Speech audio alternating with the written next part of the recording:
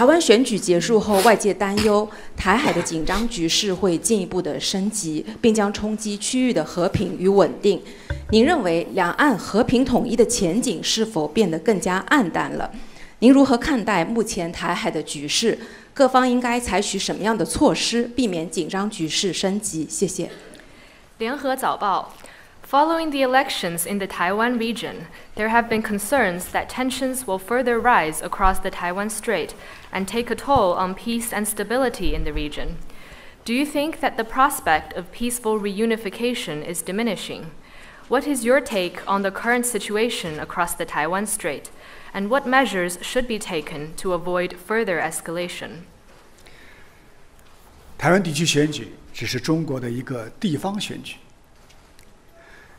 选举结果丝毫改变不了台湾是中国一部分的基本事实， 也改变不了台湾必将回归祖国的历史大势。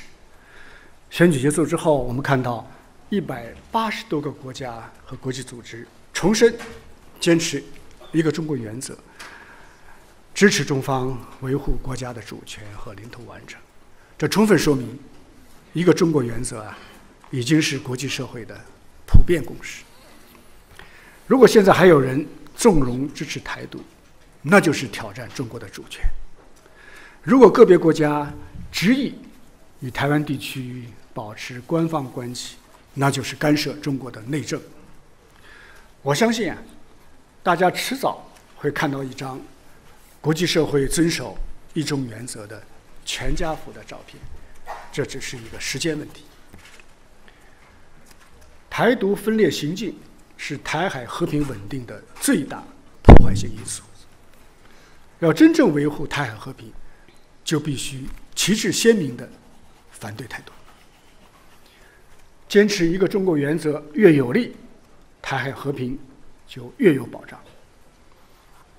我们的政策很清晰，就是继续以最大的诚意争取和平统一的前景。我们的底线也很清楚，那就是绝不允许台湾从祖国分裂出去。台湾岛内谁想搞台独，必将遭到历史的清算；国际上谁要纵容支持台独，必将引火烧身，自食苦果。海峡两岸骨肉相连，民族根脉不可分离。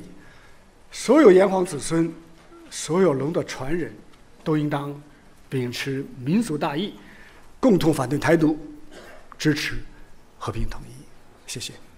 为了中国外长王毅，他十点才开始的记者会，但是清晨六点半就有不少的中外媒体在开始排队卡位等候了。因为呢，这堪称是中国大陆取消总记者会之后最受瞩目的一场中外记者会了。这是两会期间最高层级的记者会，难得能跟大陆战狼外交官王毅面对面。中外媒体记者不知起得比鸡早，举手提问也要比谁的速度快。Uh, since then, the U.S. has continued to increase its trade and technological restrictions.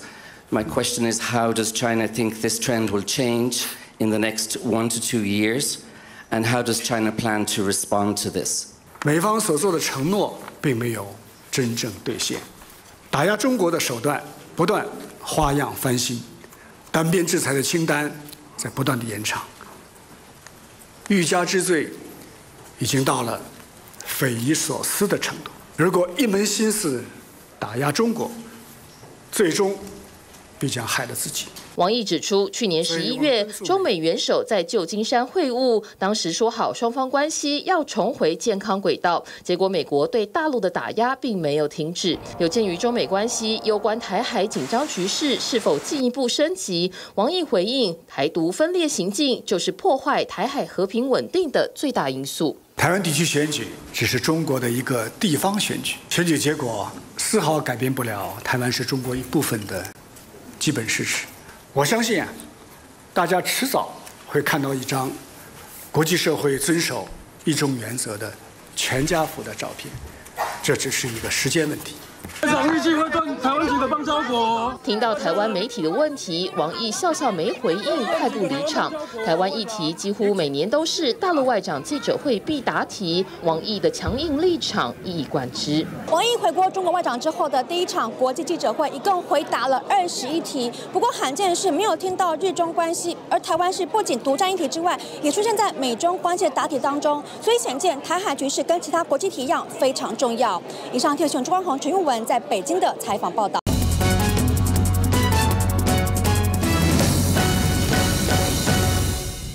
好，我们来关注一下两会里头，好像也释放出来对台更加强硬的讯号啊。呃，我们看今天这个新闻标题讲说，难道是要动武了吗？因为大陆的人大报告删掉了“和平统一”这几个字啊，而且今年的军费也是支出增加了百分之七。这个报告当中删除了去年有“和平统一”这样的措辞哦，只有保留。这个推进祖国统一事业，而且强调说坚决反对台独分裂的活动，还有外部的干涉。所以外媒现在就热议这个大陆政府工作报告的对台三个变化：第一个就是删掉和平统一，只提统一；第二个是没有交流合作，只谈融合发展；再来就是坚定反独促统，现在改为坚决反对。台独分裂以及外来的干涉哦，那我们首先来看一下法新社就指出说，哎，其实虽然北京不使用和平统一并不新鲜，但是这个修辞的变化常被视为是对台采取更强硬立场的一个讯号，值得关注。再加上反对外来干涉，这是一个新的表述哦，也像是一个对美国、日本等国放话的一个讯号。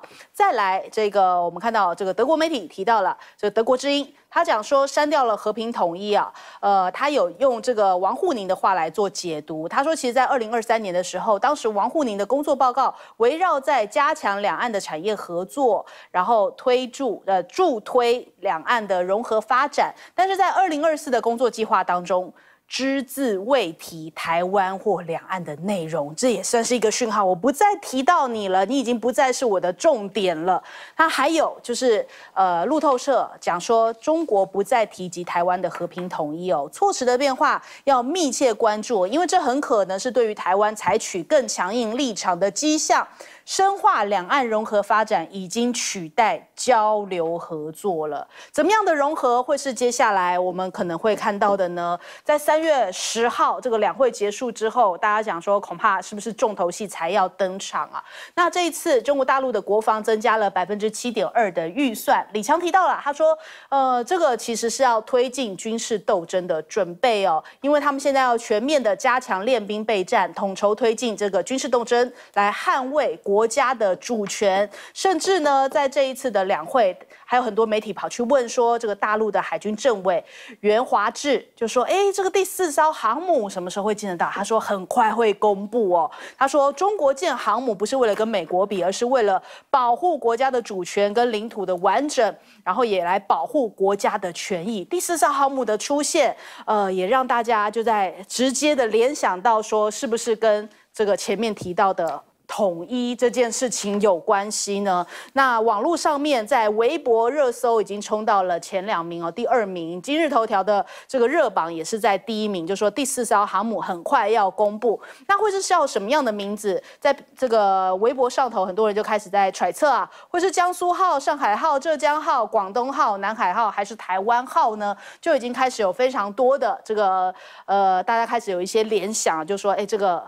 呃，第四艘航母会不会有可能会是台湾号这一个名称？以及现在这个中美的关系，大家聚焦是谁会接任下一任的中国的外长？中国大陆的外长，呃，现在目前是由王毅来担任呢。但是很多外媒在揣测，哎，会不会是刘建超来采取一个新的魅力攻势呢？因为他是这个。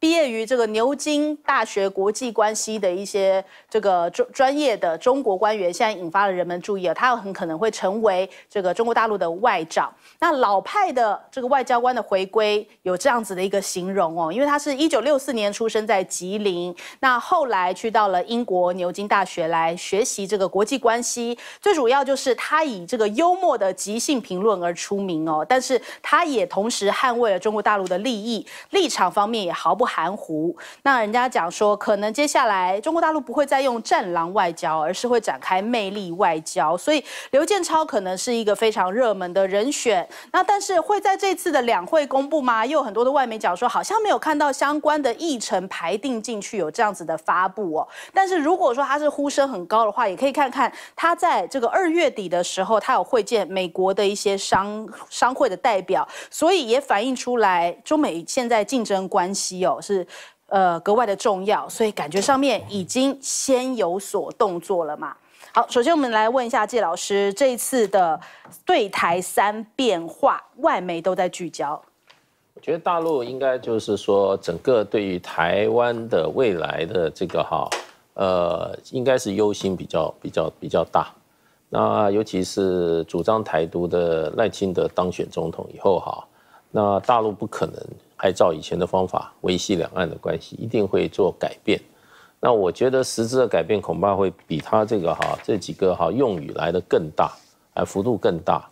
那我觉得这里面可能就变成就是说，前两天赵春生老师讲说，他认为就是说，硬的会更硬，软的不会更软，也就是软的大概就是这样软了，不会再软下去，硬的可能就更硬。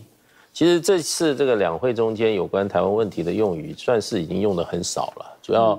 我觉得大陆不想把这次的会议的焦点失焦。这个会议，因为它有很多这些重要的工作要处理。如果把台湾问题提到太高的位阶的话，反而会把这个哈外界关注，甚至他这个开会的这些很多地部分啊焦点就被转移了。所以我觉得这些，当然它的本来的用语就会比较节省精简一点啊。不过我觉得，不管是有没有和平统一，或者说哈。就是说反列这个哈反反对哈外来干涉哈，那反对外来干涉这个是大陆已经在两岸工作上面讲了非常多的哈，有没有建筑文字我觉得并不太重要。不过我觉得最近大陆这个高层对谈问题，我觉得最值得我们关注的一次，应该就是说两会之前的呃台湾台湾啊，就是说有关台湾问题的工作报告啊，这个会议台湾工作会议由王沪宁主持的。他在里面几个用语啊，我觉得最值得我们关注。他过去是反对台独，他现在用打击台独。那打击台独跟反对跟打击是一个可以说是静态的，一个是动态的啊。那所以我觉得这个是一个最大的一个最大最大的一个最大的一个变化，值得我们关注。那大陆本身的经济的话，就是说，在大家不是大家了，大部分西方的媒体、日本的媒体啊，不断的唱衰的情况之下。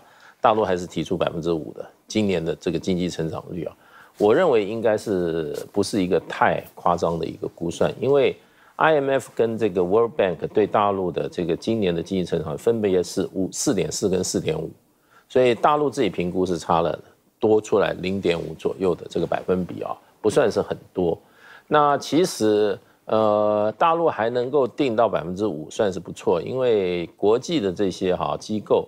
对今年整年的世界经济评估就是很差，哎，整个世界经济的评，整个整个世界经济成长率大概才二点二、二点三左右，这是历年来比较低的一个。而且对于美国、对于欧盟哈、对日本、韩国哈这几个工业大的工业化国家的这个经济成长率也是评的很比较低的。所以在这个情况之下，我觉得中国大陆能够评到自己能够定到百分之五哈。算是很不简单的了，很不简单了。那可能就还是会达到像 IMF 他们说，中国大陆的经济会带动全球经济成长，哈，它发挥百分之三十的效果。所以我觉得基本上今天中国大陆经济好的话，其他很多国家应该要感到高兴。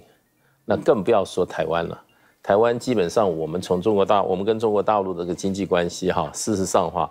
我们去年的话，照大陆统计，我们从那边赚了一千五百亿美金啊。嗯嗯。如果大一大陆经济不好的话，他也赚不到那么多钱。嗯。所以我觉得大陆这个定这个百分之五来，对我们来讲也是一个好消息。嗯。好，来问舰长。嗯，有关于大陆现在还谈不谈那个呃一个中国呃各自表述的部分啊？其实。我们是被自己害死了，为什么？因为我们一直说所谓的“九二共识”其实就是一国两制。那这件事是民进党的说法，国民党没有承认。对，这是民进党的说法。问题是，现民民进党已经连续干两次呃三三任的执政党，他这样子说说的结果，也就变成我们自己断了自己的后路，我们未来走不回去了。我也就是说，你觉得民进党真的会呃回头说，哎，我们可以接受九二共识吗？不能。那如果我们不接受九二共识的话，我们觉得大陆会跟我们有共有共同的那个呃谈话的交集吗？也不会有。好，那我们有那个法广啊，那他讲说中国中国国防增那个军费增了百分之七点二，那推进军事斗争准备，我一定要拿出证据来。怎么说？去年就是七点二啊，今年也是七点二。到底有增加什么军事准备啊？从去年到今年，到底有增加什么军事准备啊？其实我们要这样看啊，大陆现在针对那个他所他所谓的要能够保护自己的疆域以及他的领海，他买了非他做了非常多的装备啊。那他做了这么多装备，甚至刚等会我们还会讲到第四艘那个航那航空母舰的问题。可是我们看到的，也就是它就是七点二。它的增幅也就是七点二。那另外呢？那讲他们，我们刮别人胡子，我们自己看一看。我们现在看我们的好像是这样，我们的那个国防预算是这样。可是呢，《自由时报》还是偶尔有一点良心啊。他在这下面写什么？他讲说，如果说我们把新式新式战机采购啊、海空战力以及其他的计划采购，通通加起来的话，其实是。六千零六十八亿元呐，才不是四千四呃四千四百零六亿元呐，这个增幅其实是很可怕的。大家不要觉得我们没有感受，那个为什么现在教育这么吃紧？为什么现在那个不断的呃提呃增加一大堆这些呃呃医院，然后其实就是增加这些呃医。地区医院不断的升级，其实就是要从我们身上挖钱呢。那至于说大陆的第四艘航航空母舰呢，事实上势在必势在必行。为什么？我们来看他们的演训啊。习近平在二零那个二零一三年他就讲得很清楚，仗在哪打，兵在哪练。我们来看他从二零二零二二年他的航空母舰一直都在这个东边转啊。然后他一直在这东边转是什么？其实他是有一个威胁轴的，他的威胁轴就是对向关岛，然后他还有一个威胁扇区，从上就是冲绳，一直到巴士海峡这边。也就是他现在，他如果只有三艘航空母舰的话，事实上是不够。而且我们现在看，如果以他的现在的第一个福建舰还没有完，还没有海试，辽宁舰正在海试，那。仅有一个山东舰根本守不住它的第一岛链，所以我们这样子看哦，大陆非做不可。然后至于名字取什么，其实那个并不重要，那而而是当它开始迈向我们讲到的核动力的时候，那个真正才是我们在第一岛链其实完全被包围的真正的可怕的地方。嗯，好，永平姐，呃，中国大陆的军费增加啊，这个战争准备哦，它完全只针对台湾来的吗？现在我们已经看到了，它跟这个菲律宾在南海的这个擦撞事件啊，哦，那这个呃，可能比擦撞事件更严重一点的这个这个撞船事件啊，那到底未来如果以这个台海跟南海来比，是台南海会先有事，还是台海先有事？这个都是问号，所以对中国大陆来讲，它的整个军事备战来说，它有它的一个国家总体的策略啊，也未必是就能够拿这个来证明说，他对于台湾呢已经升高武统的态势啊。对台湾会不会升高武统的态势，其实说穿了呢，还是你台湾方面自己怎么应应，跟自己怎么表现嘛。嗯，因为它的红线它已经说在那里了嘛。哦，你法理台独是一个红线嘛？你外国势力介入是一个红线嘛？那你这个红线啊，怎么样来界定谁要去踩雷，以及呢，你踩雷谁是那个故意创制造的那一方？我觉得这是未来在这个紧张情势里面最值得观察的。但是台湾呢整个问题，呃，在军事、军力各方面部署跟中国大陆呢落差相当大的情况下，我们可能是那个以卵击石，我们自己去搞人家第一级的人吗？理理所当然不应该嘛。哦，所以我还是认为说，就算民进党。只考虑他自己的政治利益啊，只希望呢他去抹红在野政党，然后维持他在台湾的这个主导性。可是你无论如何呢，不能够让台湾真正陷入这个呃战争的灾难。那至于中国大陆啊，现在当然并不知道呢，这个所谓魅力外交，他们认为的这个代表啊，是不是呃一定会成为新的呃外交部长？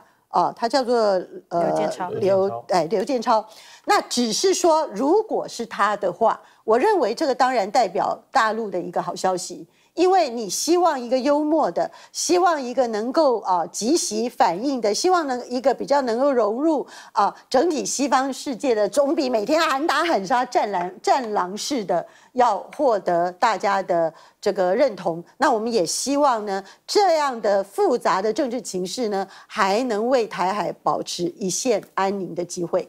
好，我们先休息一下，广告之后马上回来。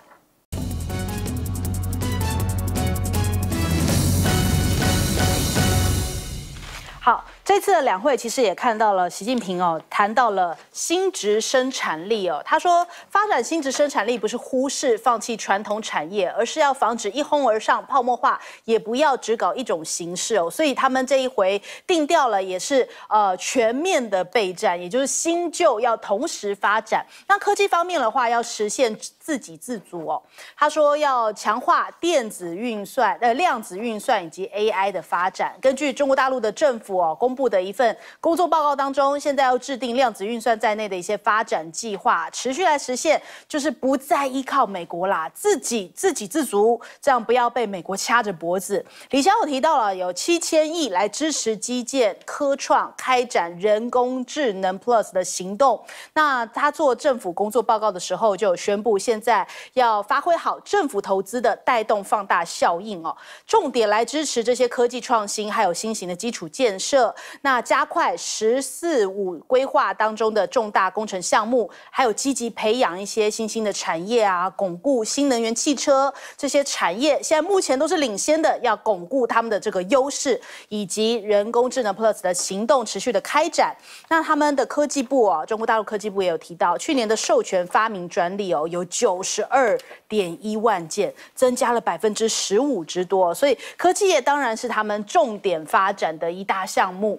那对比一下，美国的科技业倒是让大家看到大乱斗的局面哦。昨天很多这个人就是在上脸书或 IG，就感觉上，哎，怎么登登入不了啊？原来是发生了全球大宕机哦。因此，Meta 的主管，哎，不知道该怎么告诉大家，跑到了 X 平台上面去公告啊。那他们说，哦，有察觉到我们的用户在使用服务时候出现状况，我们现在正在着手处理。因此，也害得这个 Meta 的股价瞬间暴跌了百分之。二这样子的一个深夜大宕机哦，马斯克笑翻了，他趁机发文就去酸，你跑来我的 X 发文，告诉大家你们正在修你们的平台哦，所以他还贴上了这样的一个图，就几只企鹅，这个 X 是他自己嘛，都代表他自己啊，还戴个墨镜很帅，然后其他就是哦，所有的平台都要向他敬礼呀，就代表说，如果你正在阅读这篇文章，那是因为我们的伺服器正常运作，非常的酸哦，所以感觉上面这个尖牙。股科技，美国的龙头科技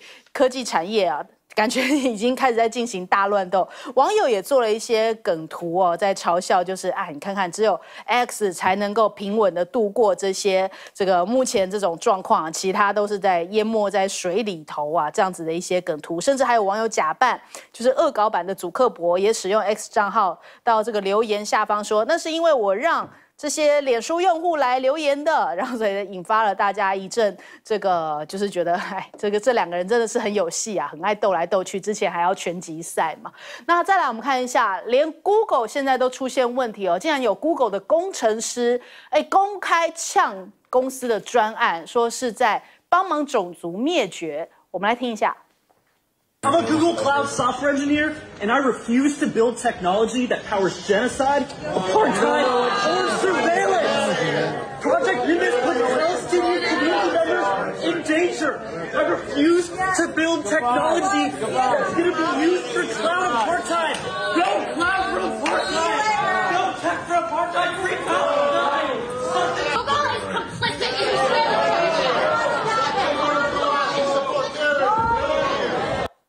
对，所以连 Google 都有爆发这样的事情，来自内部的抗议声浪哦，让大家引发了注意。除此之外呢，因为现在美国一直不断在这个晶片上面在掐这个中国大陆的脖子哦，那这个超维他们有降规版的 AI，现在也不允许卖到中国大陆哦。那辉达有望继续这个抢下更多的市占，所以哪怕美国政府的限制，但是其实你看这两大龙头辉达跟这个超维哦，还是对于大陆市场是这个非常。期待的，很很想要抢进这样的一个市场，这也反映出来，其实现在美国的混乱就是来自于今年的美国总统大选嘛，川拜大战，结果啊，终于等到了这一个人开口了，是谁呢？泰勒斯哦，因为本来好像这个拜登阵营就把泰勒斯当成一个浮木啊，觉得啊，泰勒斯上回啊，呃，因为他有挺这个拜拜登哦，所以让他成功的赢过了川普。这一次在超级星期二的时候，泰勒斯在 IG 上面发文就说。哎，我想提醒你们，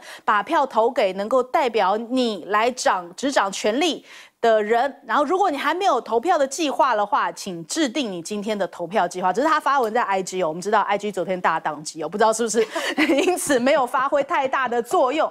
那美国媒体就报道说啊，这个泰勒斯是拜登今年最大最有影响力的代言人哦，甚至之前还有讲说他在社群上面影响力惨输川普，所以这个拜登团队很急啊，希望泰勒斯能够帮帮忙，因为他在这个时代巡回。回演唱会哦，希望可可不可以哪一场拜登也一起登台，然后这样刷一下存在感，能够吸引到一些泰勒斯的粉丝也支持拜登。那但是川普也反而求支持哦，就是之前川普也有对泰勒斯喊话哦，讲说，哎，这个其实哦是他在他任内。批准音乐相关的法案，让泰勒斯赚得盆满钵满哦，所以泰勒斯不可能挺那种狡诈的拜登，美国史上最糟糕、最腐败的总统哦，啊，应该是要这个来支持他，支持川普才对哦，也是在喊话，希望能够拿到泰勒斯的支持。好，首先我们来问一下谢老师怎么看现在这个中美的科技战。呃，中国大陆现在就是说，他们就是说，呃，经济发展哈，有一个说法要朝高质量的经济发展，那也就是朝转型的方向发展。嗯，那当然就是说，一些船产就产生了一些就些依据啦，认为就是说，可能政府的这个哈，将来的辅助哈，可能就是说对船产会比较不利一点。嗯，所以这次我觉得大陆这个习近平特别他对这个啊所谓的这个传统产业哈这个依据，他还特别出来讲话。就是说，他说啊，在新传新值生产力啊，不是放弃传统传统产业。我想，也就是说，呃，米就是说，来这些消弭一下社会可能对他这个中国大陆政府哈经济发展策略哈的转变的一些误解吧。那就中国大陆来讲的话，当然啦，传统产业它没有放弃，可是它在高科技啊，尤其最最尖端的这些科技领域哈，中国大陆是长期大量投入的。那么，所以在未来的可能就是说，世界上几个决战啊，就是说国与国之间或经济之间这个决战的这几个关键的科技领域哈，中国大陆事实上有些是暂时领先的，嗯，那么有些跟美国哈，要跟欧洲哈也是平起平坐的。那比如说在六 G 通信的六 G 方面，中国大陆现在以占力数来讲的话，是站在站在优先的前面。那么就表就连五 G 哈，还有就是说华为提出来的五点五 G，啊，这个都是一直在在这个哈站在这个等于说最前列。另外还有就是 AI 的发展，AI 发展它是等于说是等一个下一个人类社会最重要的一个工业革命了，新一代工业革命。这你也可以看出来，美国在 AI 上面对中国大陆的封锁为什么要做的这么彻底的原因。那尽管是彻底啊，中国大陆的 AI 事实上还是往前面做，尤其它的这个应用的城市，嗯，尤其在汽车哈，还有这些互联网这种应用的层面，做的是非常非常的快啊。那还有就是说这个量子计算啊，量子的这些哈通讯这一方面哈，那么中国大陆也是走在前面。所以你要比照一下美国跟中国大陆的体制上来看的话，你也会明白为什么中国大陆的这个高科技能够这样平稳的发展。那美国为什么哈？呃，过去这么强的科技，现在慢慢都会追上，原因你光看拜登跟川普两个人吵架的方式就是了。嗯，一个国家的领袖天天在哈想办法来抹黑他自己的竞争对手哈，进行内部人事斗争哈，占据他的大部分的精力，他有什么精力来治国嘛？嗯，所以我觉得这个，你如果说为什么现在中国大陆敢这么快，还有你要看中美两国的未来的话，你会拿压哪一边？你当然是压中国大陆了。嗯，好，来请教舰长。嗯，昨天晚上啊，无论是 FB 或者是 IG 被强制登出的，绝对不只有你一个，小舰长也是一个，然后不知不觉就被登出了。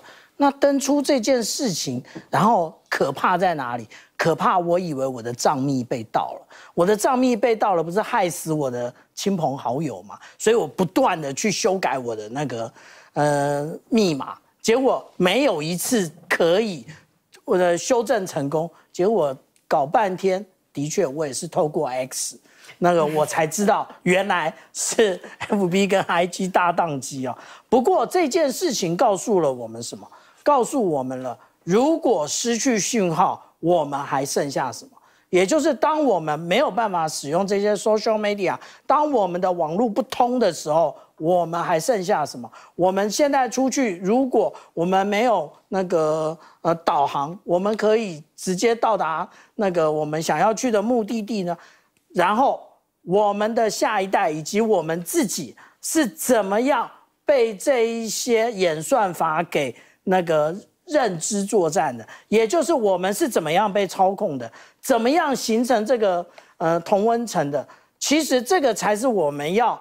当心的地方，为什么现在无论是在我们台湾蓝绿之间的隔阂这么大？为什么在美国那个民主以及呃共和两党也同样如此？